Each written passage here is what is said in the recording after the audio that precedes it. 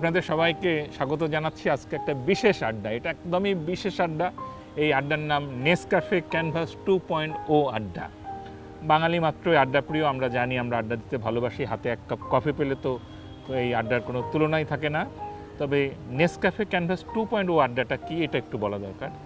দুই হাজার একুশ সালে আমরা সবাই বাংলাদেশের সুবর্ণ জয়ন্তী পালন করেছি। এই উপলক্ষে নেসকাফে একটা বিশেষ ক্যানভাস যাত্রার আয়োজন করেছিল। সেটা ছিল তোমার কাছে স্বাধীনতার মানে কি?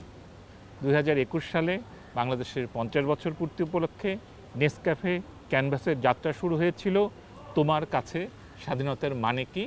এই বিষয়ে ছবি আঁকার একটা বিশেষ প্রতিযোগিতা দিয়ে যারা ছবি এঁকেছিলেন, তাদের ভিতর থেকে যারা প্রথম, দ্বিতীয় হয়েছিলেন, এদেরকে আকর্ষণীয় পুরস্কার দেওয়া হয় এবং এর চেয়েও বড় কথা, নেসক্যাফে তার একটা বিশেষ ক্যান, এদের আঁকা আর্টওয়ার্ক দিয়ে ডিজাইন করে।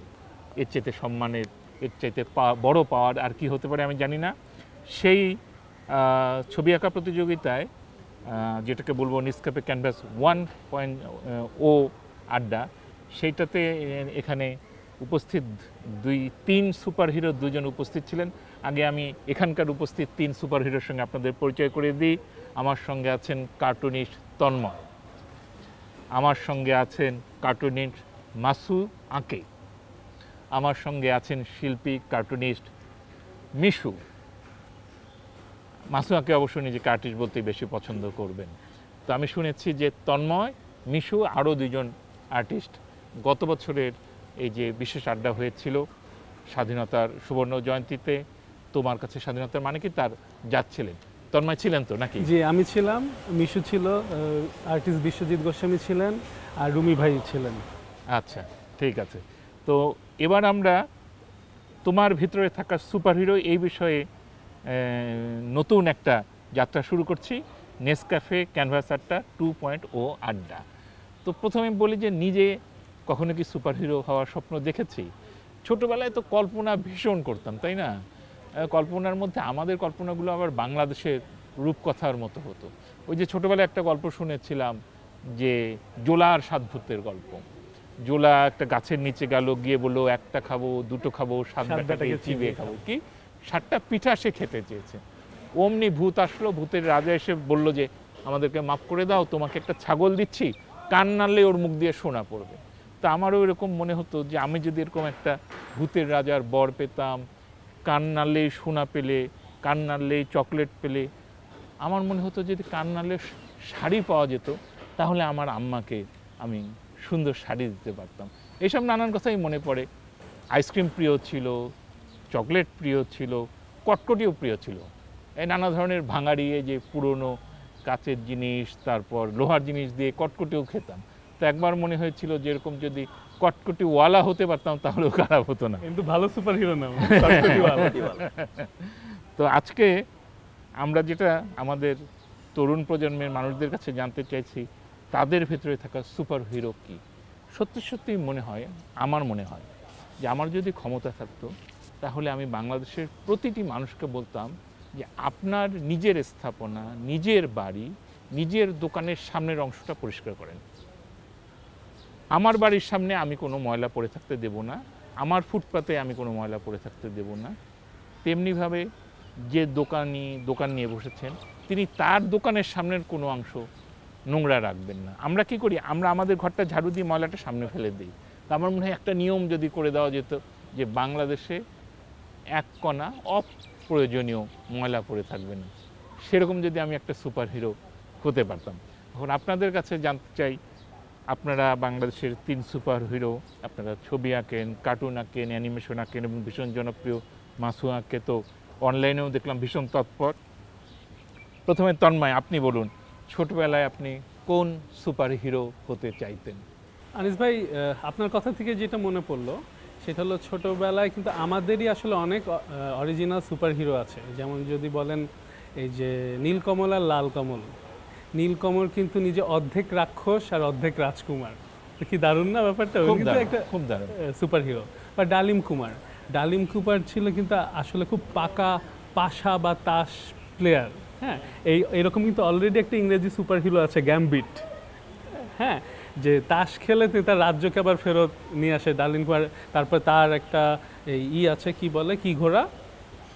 ময়ূরপঙ্খী পঙ্খিরাজ পঙ্খিরাজ ঘোড়া। পঙ্খিরাজ ঘোড়া, হ্যাঁ। পঙ্খিরাজ ঘোড়া। তো এগুলা থেকে দারুণ সুপার হিরো আর কি হতে পারে? এগুলো? হ্যাঁ ঘোড়ার পাখা আছে সেই ঘোড়ার পিঠে চড়ে যে কোনো জায়গায় যাওয়া যাচ্ছে। এগুলা ছিল ছোটবেলার। আর বড় হওয়ার পর আসলে একটা সময় গিয়ে আমি নিজেকেই সুপার হিরো ভাবা শুরু করলাম। যখন এরকম রাত্রেবেলা লুকায় লুকিয়ে কার্টুন আঁকতাম আর এদিকে বাসায় সিএসসি পড়তাম তো আমি ভাবতাম আমি নিজে সুপার হিরো কিন্তু রিসেন্টলি বিয়ে করার পর আবার দেখছি আমার স্ত্রী আসল সুপার হিরো আমার ওয়াইফ হ্যাঁ আমি না কারণ মানে আমাদের সোসাইটিতে ভাই বাসায় আজকে ভালো খাওয়ান পাবেন। ওই হোপিং ওই ওই আশাতে বলছি হ্যাঁ। না সত্যি কথা যেটা একটা জিনিস খেয়াল করি যে মানে আমার স্ত্রী বলে বুঝাচ্ছি যে বাংলাদেশের প্রতিটা মেয়েকে আমার সুপার হিরো মনে হয়। কারণ আমাদের সামাজিক প্রেক্ষাপটে আমি আমাদের এলাকাতেই দেখি, একটা মেয়ে যখন বাসা থেকে বের হয় আর একটা ছেলে যখন বাসা থেকে বের হয়, বিশাল পার্থক্য। একটা মেয়েকে কে তার দিকে কীভাবে তাকালো, কি মনে করছে, অনেক জাজমেন্ট উপেক্ষা করে তার যে চাওয়া মানে ইনভিজিবল হয়ে আবার ভিজিবল হতে হয়। মানে এটা একটা ইনভিজিবল সুপার হিরো হ্যাঁ? তো ওই জায়গা থেকে আমি গতদিন এটা নিয়ে ভাবতে গিয়ে মনে হচ্ছে যে আমার থেকে আসলে আমার ওয়াইফই তো সবচেয়ে বড় সুপার হিরো হ্যাঁ এই বিষয়ে একটা কৌতুক প্রচলিত আছে যে একটা জিনি বা জলপরি উঠে এলো বলল যে একটা উইশ করো কিছু একটা চাও। তার লোক ছিল ভদ্রলোক তিনি বললেন যে আমার বুদ্ধি দশ গুণ করে দেন। সঙ্গে সঙ্গে ওই ভদ্রলোক ভদ্রমহিলায় পরিণত হয়ে গেল। এইবার মাসু আঁকে ছোটবেলায় কোন সুপার হিরো হতে চাইতেন? ছোটবেলায় কোন সুপার হিরো হতে চাইতেন? আর বড় হয়ে কোন সুপার হিরো হতে চান? ছোটবেলা থেকে আমার ফ্যাসিনেশন ছিল স্পাইডারম্যানের প্রতি। এমনকি আমার সপ্তম জন্মদিনে আমার কেকটা ছিল স্পাইডারম্যানের এখন আমাকে না জানিয়েই যে আমার কেকটা আসলে কী হবে, ওইটা না জানিয়েই যখন আমার পুরা ক্লাসমেটদেরকে ক্লাস টুতে পড়তাম তখন, নিয়ে আসা হলো, কেকটা বের করা হলো, সব মেয়েরা বলো কি, ইস স্পাইডারম্যানের কেক ও ছেলে নাকি? স্পাইডারম্যান তো খালি ছেলেদের ইয়ে। মেয়ের কেক হওয়া উচিত বারবি কিন্তু আমার তো ওইটা ছোটবেলা থেকে আমার ওই স্পাইডারম্যানই ফেভারিট ছিল। কেন? স্পাইডারম্যান কেন? স্পাইডারম্যান কারণ সে যে তিরিং মানে সে যে এক বিল্ডিং থেকে আরেক বিল্ডিং যেত। তিরিং বিরিং। ওইটাই আমার খুব মানে ভালো লাগতো। এবং আমি বলব যে বড় হয়ে যদি আমার কোনো সুপার পাওয়ার থাকতো তাহলে আমি চাইতাম যে আমিও যদি স্পাইডারম্যান তুই তিরিং বিরিং তো এমনি করিস। তো সারাদিন তিরিং বিরিং করতে থাকে। হ্যাঁ। হ্যাঁ বা যদি টেলিপোর্টেশন এক জায়গা থেকে আরেক জায়গায় চলে যাব এরকম অন্তত ভালো হতো জ্যামটা অ্যাভয়েড করা যায়। মাসুদাকে আসলে একজন স্পাইডারম্যান স্পাইডারম্যান তিনি অনেক কিছু করেন অনেক জায়গায় লাফিয়ে লাফিয়ে যান। ঠিক আছে আমরা আগে মিশোর কাছ- কাছে আসি। মিশো ওই একই প্রশ্ন, ছোটবেলায় কি সুপারম্যান হওয়ার স্বপ্ন দেখতেন, বড় হয়ে কি দেখছেন? ইন্টারেস্টিংলি আমার না কখনোই কাল্পনিক সুপার হিরো খুব একটা টান নেই হ্যাঁ। আমার কাছে সবসময় কেমন জানি রিয়েল লাইফ মানুষজনের মধ্যে আমি অলওয়েজ সুপার হিরো ব্যাপারটা দেখছি হ্যাঁ। আমাদের আশেপাশে ইনফ্যাক্ট যেমন একটা স্টোরি বলি, আমার কাছে, আমাদের এলাকায় এক রিক্সাওয়ালা ছিল ইয়াং রিক্সাওয়ালা প্যান্ট পরে চালাইতো আর কি। এবং তাকে এরকম ছয় মাস রিক্সা চালানোর পরে সে দেখলাম যে হচ্ছে তারপরে সিএনজি চালানো শুরু করছে হ্যাঁ এবং হঠাৎ একদিন দেখি হচ্ছে কি সে ড্রাইভিং শেখা শুরু করছে হ্যাঁ এবং তারপরে দেখলাম যে সে হচ্ছে কি একটা মানে. একজনের না একজনের ড্রাইভার সে হয়েছে। আমার কাছে মনে হচ্ছে এই যে প্রোগ্রেসটা এটাও তো সুপার হিরোর চেয়ে কোনো অংশে কম নাই যে মনের জোর আপনি কিন্তু একদম অনেক অনেক বড় একটা কথা বললেন। বাংলাদেশের সবচেয়ে বেশি বড় লোক একশো জনের জীবন যদি আমরা পর্যালোচনা করে দেখি অনেকেই আছে এরকম কোনো কিছু না থেকে অনেক বড় হয়েছেন এবং এটা বুদ্ধি দিয়ে সংগ্রাম করে এখন দেখা যাচ্ছে উনি হয়তো ক্লাস টু পর্যন্ত পড়েছেন কিন্তু তার অধীনে এখন একশো জন সিএ এমবিএ পাশ লোক কাজ করছে। এক্স্যাক্টলি সো আমার কাছে সবসময় হচ্ছে রিয়াল লাইফ মানুষগুলোকে অলওয়েজ সুপার হিরো মনে হয়েছে। এই যে ধরেন যে ফ্রিডম ফাইটার মুক্তিযোদ্ধা যারা হ্যাঁ? মানে এর চেয়ে বড় সুপার হিরো তো মনে হয় না বাংলাদেশে আর আছে আর হ্যাঁ। হয় একদম একদম। মানে আমি যখন মানে আমাদের সবার পরিচিত প্রিয় চরিত্র জাহানারা ইমামের ছেলে রুমির কথা ভাবি যে ছেলে আমাদের তখন ইপি ওয়েট ছিল বুয়েট যেটাকে এখন বলে। সেটাতে উনি ভর্তি হয়েছেন ইঞ্জিনিয়ারিং ইউনিভার্সিটিতে উনি ইলিনয়ে একইভাবে ইঞ্জিনিয়ারিংয়ে ভর্তি হয়েছেন। সেই ভর্তি থাকা অবস্থায় বিদেশে পাসপোর্ট রেডি করে যাওয়ার বদলে উনি মাকে বললেন না আমি বাংলাদেশকে মুক্ত করতে চলে যাব। এর চাইতে বড় সুপার হিরো আর কি হতে পারে? রাইট আবার রিসেন্ট টাইম যদি আপনি দেখেন এই যে বাংলাদেশে যে বন্যা যে বা দুর্যোগকালীন যে সময়ে স্বেচ্ছাসেবীরা তাদের তো ঠেকা পড়ে নেই কোনো। বাট তারা এই যে মানুষের পাশে গিয়ে দাঁড়াচ্ছে। হ্যাঁ, সুপার হিরোর কাজ কি অ্যাকচুয়ালি মানুষের পাশে গিয়ে দাঁড়ানো। যে কোনো সমস্যার সময়ে মানুষের পাশে গিয়ে দাঁড়ানো। সত্যি এখন খুব কঠিন প্রশ্ন তন্ময়। এই সুপার হিরোর একটা পাওয়ার দিয়ে আপনি বাংলাদেশের কোন সমস্যাটা দূর করতে চান? খুবই কঠিন প্রশ্ন। একটা দুইটা উত্তর দিই সহজ উত্তর এবং কঠিন উত্তর। আপনি যেমন বললেন আপনারটা খুব পছন্দ হয়েছে প্রথমে যে এই যে সাধারণ জিনিস বাসার সামনের ময়লা পরিষ্কার হ্যাঁ? এটা কিন্তু আমরা করতে পারি। আর একটা আইডিয়া গতদিন থেকে মাথায় খুব ঘুরছিল, সেইটা হচ্ছে যে আমরা যে মানে একই দেশে ভিন্ন বর্ণের মানুষ এক জায়গায়, হিন্দু, মুসলিম, তা আমি যদি পেতাম একটা সুপার হিরো যে সবার চিন্তা ভাবনাকে আরও ওপেন করে দিত এবং সেটা ক্রিয়েটিভলি গানে গানে ছড়া, ছড়ায় একজন কবিয়ালকে পেতাম যে গান বেঁধে ওই ওই কুলসিত চিন্তাগুলোকে বেঁধে ফেলতো আর মুক্ত চিন্তাগুলোকে খুলে দিত, তাইলে আমি খুব খুশি হতাম। তন্ময় যেটা বললেন মানে আমি কি বলব, আমি এর চাইতে সুন্দর কথা অনেকদিন শুনি না। নিশ্চয়ই এর চাইতে সুন্দর কথা আছে, কিন্তু আমি হয়তো শুনি নাই। এইবার মাসুয়াকে বলেন, আপনার তো স্পাইডারম্যান হলেন বা এর চাইতেও বড় কিছু হলেন, বাংলাদেশের কোনো একটা সমস্যা সমস্যা না হলেও সমস্যা না কিন্তু সৌন্দর্য। হ্যাঁ। ছোটবেলায় একটা কার্টুন দেখতাম সাকুরা কার্ড ক্যাপ্টার তার কাছে বিভিন্ন সে একটা নর্মাল মেয়ে কিন্তু তার কাছে বিভিন্ন কার্ড থাকতো। বাতাসের পাওয়ার পানির পাওয়ার সূর্যের পাওয়ার এরকম এরকম অনেকগুলো কার্ড নিয়ে সে যখন যে কার্ডটা ইউজ করতো ওইটা দিয়ে সে তার আশেপাশের চেঞ্জ আনতে পারত। এবং আমি খুব মিস করেছি একটা খেলার মাঠ পাওয়া। বা সবুজ মাঠ যদি আরও থাকতো তাহলে অনেক ভালো হতো। তো ওইরকম একটা সুপার হিরো যদি থাকতো মাঠ এখানে মাঠ ওখানে মাঠ। তাহলে ভালো হতো। সত্যি সত্যি একদম। কারণ আমরা আমাদের শৈশবে তো আমি তো অন্তত অবারিত মাঠ এবং পুকুর নদী গাছের ডগা কিনা করেছি। আমরা যারা ঢাকায় বড় হয়েছি আমরা আমাদের গুরুজনদের এসব কথা শুনতে শুনতে বিরক্ত।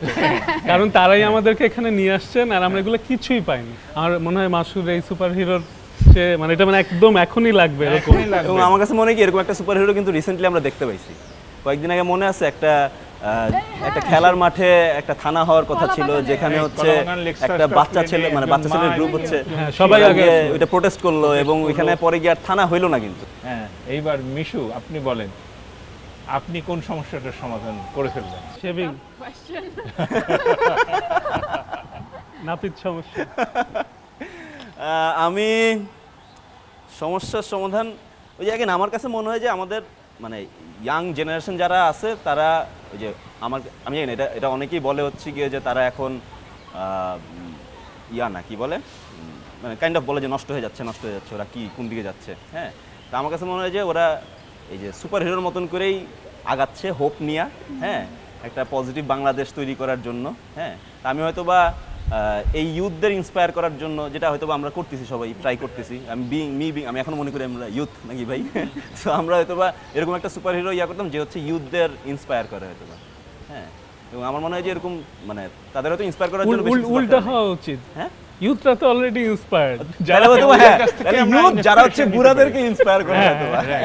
সেটা হইতে পারে রাইট হ্যাঁ হ্যাঁ একটা ইউথ যে বুড়োদেরকে ইন্সপায়ার। হবে না হবে না না হবে। পারব না না, পারি, করে দেখাই, তাই না? তন্ময়, আপনার কার্টুনের মাধ্যমে অ্যানিমেশনের মাধ্যমে কমিকের মাধ্যমে, আপনি ইতিবাচকতাই ছড়ান। হ্যাঁ আমি এক- একদম একমত আপনার সাথে। কারণ ওখানে অনেক শিল্পী একটা দায়িত্ববোধ ফিল করেন অনেকে করেন না। অনেক শিল্পী মনে করেন যে আমার যেটা মনে হচ্ছে আমি সেটাই করব। সেটা আলো হোক অন্ধকার হোক আমি আমার ভিতরটা প্রকাশ করব। নিশ্চয়ই আমরা সমালোচনা করব এবং সমস্যাগুলি তুলে ধরবো অসঙ্গতি তুলে তুলে ধরবো। শিল্পীরা কি করেন? লেখক আর্টিস্ট সবাই হচ্ছে একটা সুন্দর সুন- সুন্দরকে শেয়ার করেন মানুষের সাথে। এই জন্য একদম ফুলের মতো মানুষ মধুর লোভে লোভে ওই শিল্পীর কাছে আসে। তো ওই ক্ষমতাটা তো একটা বিশাল সুপার হিরোর ক্ষমতা ওইটা দিয়ে আসলে আলো ছড়ানোই উচিত। রাইট এটা রবীন্দ্রনাথ বলেছেন সংসার মাঝে দু একটি সুর করে দিয়ে যাব রেখে দিয়ে যাব করিব মধুর দু একটি কাঁটা করি দিব দূর তারপরে ছুটি নিব এটা কবির কাজ। আসলেই এইবার মাসু আঁকে আপনি বলেন আপনার কাজের মধ্য দিয়ে আপনি কীভাবে তরুণ প্রজন্মকে বা আমার মতো বুড়োদেরকে অনুপ্রাণিত করেন? আমি সবসময় চেষ্টা করি সব মানে আমার ভিডিওগুলো স্পেশালি কিন্তু কখনো একদম পারফেক্ট বেস্ট ক্যামেরা বেস্ট ইয়ে দিয়ে কখনো করি না। আমি খুব সিম্পলভাবে কিছুটা গল্পের মতো করে, আমি আমার ফ্রেন্ডের সাথে যেভাবে করে গল্প করে হয়তো একটা ছবি আঁকছি বা আমি, আম- আমার মাসুয়াকে ভিডিওগুলো আমি শুরুই করেছিলাম একদম আমার ফ্রেন্ডকে জাস্ট একটা ডিম আঁকা কীভাবে শিখ- মানে শেখানোর উদ্দেশ্যে, উদ্দেশ্য করে। অনেক সময় পুরো পৃথিবী মনে হয় যে এত হোস্টাইল সবাই খালি মানে হাড্ডাহাড্ডি লড়াই, কে বেস্ট হবে? তো ওইটা থেকে আমি একটু one I want to take a step back আর একটু একটা ব্রিদিং স্পেস ক্রিয়েট করার চেষ্টা করি আমার ভিডিওটাতে। আচ্ছা শুনেন, আপনার জন্ম হয়েছে ইতালিতে। আট বছর বয়স পর্যন্ত ইতালিতে ছিলেন। আর এখন আপনি ইংরেজি বিষয় নিয়ে পড়ছেন ব্র্যাকে, ব্র্যাক ইউনিভার্সিটিতে। আপনি যা বলছেন প্রথমে সেটা দুই লাইন ইংরেজিতে শোনাবেন যে আমি এই কাজটা করি তারপরে ওইটা ইতালিতে শোনাবেন Oh, um, ইতালিয়ান ভাষায় হ্যাঁ I like through my paintings or videos, I want to bring hope to the world. I, I want to bring মানে, the happiness that I feel because every time I look into my surroundings, I feel একটা, a sense of hope. And I want that to be present in my videos. Or এখন আপনি ইতালিয়ানে বলছেন তো Ok, eh, mi piacerebbe se tutti, মানে basically সবাই খুশি থাক। আচ্ছা পৃথিবীতে সবাই খুশি আমার থাকুক। অনেকগুলো গালি দিল আমাদেরকে। হ্যাঁ হ্যাঁ। কিউট অনেক ইয়েটা এখন মিশো তো আগেও বলেছেন আবার বলেন একই প্রশ্ন। আপনার কাজ দিয়ে আপনি কীভাবে পৃথিবীটাকে বা বাংলাদেশটাকে বা আমার হৃদয়টাকে বদলাবেন? একটা জিনিস আমি রিয়েলাইজ করছি বা বুঝে বুঝছি যে আর্ট এমন একটা জিনিস যেটা হচ্ছে সময়কে কাইন্ড অফ ধারণ করে। হ্যাঁ?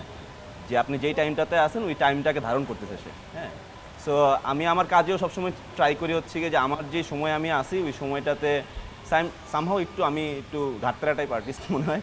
আমি একটু প্রোটেস্টওয়ালা মানে থাকে না প্রোটেস্ট করার জায়গার থেকে যেই অসঙ্গতি বা কোনো সমালোচনা, সেটা আমি আমার আঁকার মাধ্যমে ফুটায় তোলার চেষ্টা করি সবসময়। আমার কার্টুনের মাধ্যমে দেখানোর চেষ্টা করি।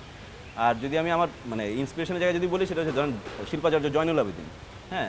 এই যে যখন দুর্ভিক্ষ দুর্ভিক্ষর এভিডেন্স বলতে কিন্তু আমাদের কাছে কাইন্ড অফ ওনার চিত্রকলাগুলাই আছে তাই না? রাইট একদম একদম। কিংবা যদি সুপার হিরোর জায়গার থেকে চিন্তা করি এস এম সুলতান উনি কিন্তু ওনার পেন্টিং এ দেখাইছেন সবসময় যে আমাদের দেশের কৃষক যারা তারা। খুবই মাস্কিউলিন খুবই হ্যাঁ। সবাই সুপার হিরো হ্যাঁ সো এগুলাও কিন্তু এক একটা আইডিয়া আছে আমাদের জন্য যে মানে ওনাদের কাছ থেকে ইন্সপিরেশন পাওয়ার মতন। সো ওকে ওনারা ওই সময়গুলোকে ধারণ করছেন ওনারা যা দেখছেন আমার কাছে মনে হয় যে আমি অ্যাকচুয়ালি আমার সময়টাকে ধারণ করতে চাই। যদি আপনার মাইন্ডসেট আমার সঙ্গে ম্যাচ করে আপনি ওইটার সঙ্গে একাত্মতা প্রকাশ করবেন। হ্যাঁ আমি আমারটা দিতেছি আপনার যদি মনে হয় আপনি এটা অ্যাকসেপ্ট করবেন করলেন না করলে দুইটা গালি দিবেন না দিলে নাই মানে গালি দিলে দিলেন খুবই খুবই ইন্টারেস্টিং এটা কমপ্লিটলি অপোজিট সেটা হচ্ছে এই সময় আমি এত বদ্ধ ফিল করছি আমি এমন কিছু তৈরি করতে চাচ্ছি যেটা আমাকে এখান থেকে সরিয়ে আর এক অন্য কোথাও নিয়ে যাবে। তো এই ব্যাপারগুলো খুবই ইন্টারেস্টিং যে একই জিনিসকে আমরা কীভাবে হ্যাঁ, আচ্ছা এবার সবাইকে এক লাইনে উত্তর দিতে হবে। আমাদের যে তরুণ প্রজন্মের শ্রোতারা দর্শকরা আমাদের অনুষ্ঠানটা দেখছেন এক লাইনে তাদেরকে একটা করে মেসেজ দেন বার্তা দেন। প্রথমে দেবে তন্ময় তারপরে সিরিয়ালে আপনার প্রস্তুত মেসেজটা কি নিয়ে হতে হবে? এই সুপার হিরো সুপার হিরো না দেশ নিয়ে কি করা উচিত? যে কোনো একটা ইন্সপিরেশনাল হতে পারে না হলে কিছুই না। আচ্ছা। আমার আসলে বার্তা তেমন কিছু দেওয়ার নাই কিন্তু যেহেতু এটা একটা কম্পিটিশন আমরা ওই আশা করছি সবার কাছ থেকে অনেক মজার মজার সুপার হিরো পাবো। ওইটা নিয়ে বলতে চাই যে চেষ্টা করব তোমার সবচেয়ে মজা লাগবে যেই সুপার হিরোটা আঁকতে তোমার যেই আঁকতে সবচেয়ে আনন্দ লাগবে ওইটাই যাতে তোমরা আঁকো। কারণ তোমাদের সুপার হিরোটা তোমাদের অনেক মানে অনেক চিন্তা ভাবনা করে কোনটা ঠিক হবে কোনটা দেশের ভালো হবে ওটার থেকে আমার মনে হয় তোমার যেটা মনের ভিতর ভালো লাগবে যেটা করতে আঁকতে তুমি খুব আনন্দ পাবে আমি শিওর ওই সুপার সুপার হিরোটা আমাদেরও ভাবাবে এবং অনেক আনন্দ আমার মনে হয় তন্ময় খুবই একটা গুরুত্বপূর্ণ কথা বলেছেন। একটা তো উনি ছবি আঁকবো, যারা তাদেরকে কীভাবে আঁকবো সেটা বলেছেন। কিন্তু অন্য সকল ক্ষেত্রে তাই। আমার মন যেটা বলে, আমার হৃদয়ের কথা শুনতে হবে, তারপর যে কাজটা আমি করছি সেটা সবচাইতে ভালোভাবে করতে হবে। এটাই তো।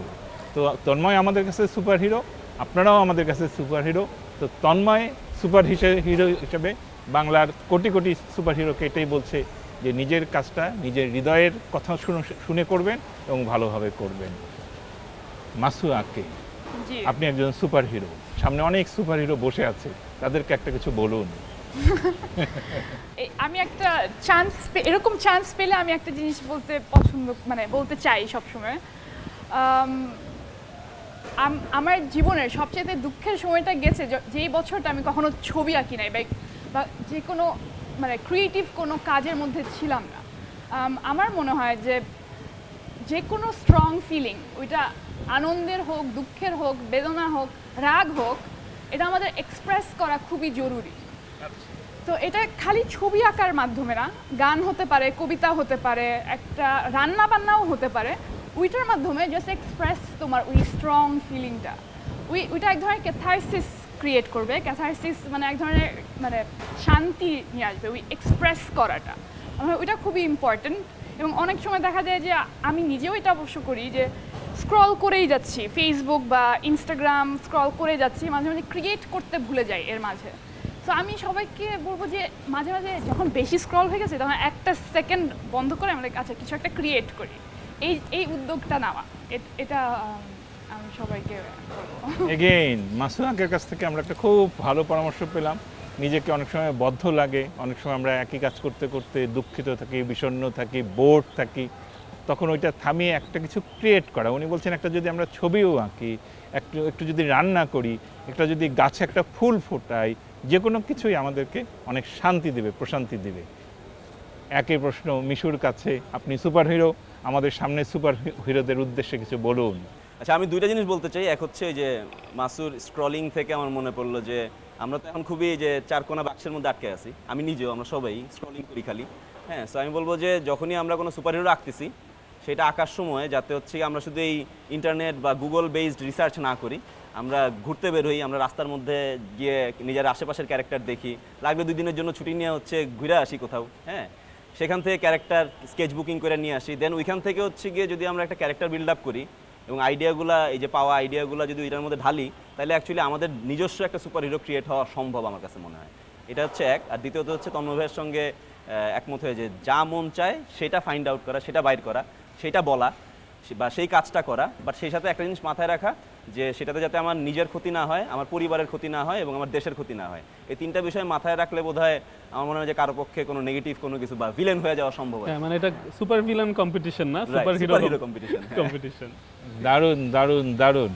আমি এতক্ষণ যে তিন সুপার হিরোর সঙ্গে ছিলাম এক সুপার জিরো আমি নিজেই এখন নিজেকে হিরো বলে মনে করতে আমাদের শুরু একটা প্রশ্ন আছে। আপনি সুপার হিরো হইলে আপনার সুপার হিরোটা কি হইতো? আপনি যদিও বলছেন ওইটা কিন্তু আপনি নিজেকে কীভাবে আপনার কস্টিউম কি হইতো? না আমি আমি আমি চাই বাংলাদেশে একটা জিনিস করতে। সেটা হচ্ছে বাক স্বাধীনতা এগেন অন্যের ক্ষতি না করে। এটা আমি চাই যে বাক স্বাধীনতাটা যদি আমরা যদি কথা বলার অধিকারটা পেয়ে যাই তাহলে অন্য অনেকগুলি অধিকার কিন্তু আমরা প্রতিষ্ঠা করে ফেলতে পারব। আবারও বলি যেটা মিশু বলছিলেন যে নিজের ক্ষতি না করে, পরিবারের ক্ষতি না করে, দেশের ক্ষতি না করে, মানুষের ক্ষতি না করে আমরা যেন বাক স্বাধীনতা পুরোটা পাই। এটা কোন সুপার হিরো আমাদেরকে এনে দেবে আমি জানি না, কিন্তু এই জন্যই কিন্তু আমরা বাংলাদেশ করেছিলাম। তো ঠিক আছে, তো আমরা আলোচনা করে আমার খুবই ভালো লেগেছে। তন্ময়কে ধন্যবাদ, মাসু আঁকেকে ধন্যবাদ, মিশুকে ধন্যবাদ। আর ভাই, আপনারা যারা এতক্ষণ এই আলোচনা শুনছিলেন, Nescafe Canvas two point o আড্ডাতে আমরা এতক্ষণ আপনাদেরকে নানান কথা শোনালাম, বিশেষ করে এই কার্টুনিস্ট বা শিল্পীদের সঙ্গে কথা শুনতে, বলতে আমাদের খুবই ভালো লেগেছে।